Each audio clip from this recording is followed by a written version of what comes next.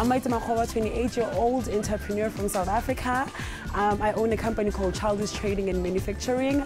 We are the creators of this wonderful doll, this wonderful brand, this wonderful African kiddies character called the Mompi Poppy as a company, we realized that there was, you know, there was not enough diversity in the kiddies market, you know. There was not a real representation of the world in the kiddies market, of the true world and what it is and who, who it has in the world. So we decided, you know what, we are going to be the representatives of the Africans, you know. So we found a way to just take what, what is African and found a way to, to translate it in the Mompi way, right? Because that's what Mompi is about. She's about the beauty that is African child, you know. She's about the, the, the, the modern mentality of where Africans are today, and that's just why we exist. Introducing diverse looks, ones that look like my children, gives them an option and it, it opens up their mind to say it can be beautiful even if it doesn't have long straight hair. It can be beautiful even if it's not necessarily light skin. Diversity is important and having them grow up with that in the environment is an awesome idea she's current. She's what's happening, you know, from Jamaica, New York to Lagos and South Africa. A Mompi Poppy and her fro, honey, you know.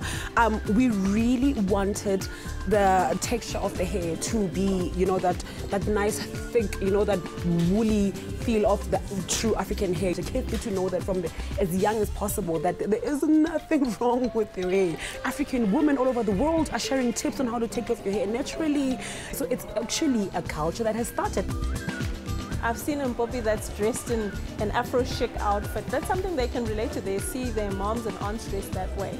It resonates with the way they live. We obviously knew that what Mompi wears, you know, has to be obviously something that the child could wear as well. The Shweshwe print, I mean, it's Africa. We have, we found a way to introduce, you know, our African prints in the current fashion of which kids can love. Even the, the way we brand the logo itself, because this is wearing a Shweshwe print, Mompi's wearing a little Shweshwe hat here the back. We take, you know, that the, the, typical African traditional culture and we, we modernize it and we bring it into the light that we as the youth see it.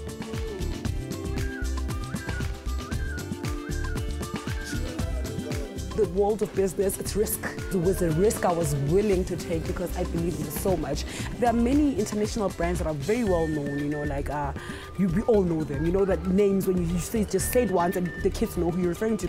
You know, so those are brands that, that have been around for such a a long time and we are trying to go there that's the route we are taking we are not just trying to be a doll we are trying to be a household brand just like those international brands we are at a phase where we are creating Mompi Poppy the cartoon character exciting times, you know, the cartoon character is developing nicely, you know, the kiddie storybooks is developing nicely. Right now we are in talks with our brothers in Zim, our big companies in Zim, big companies in Ghana.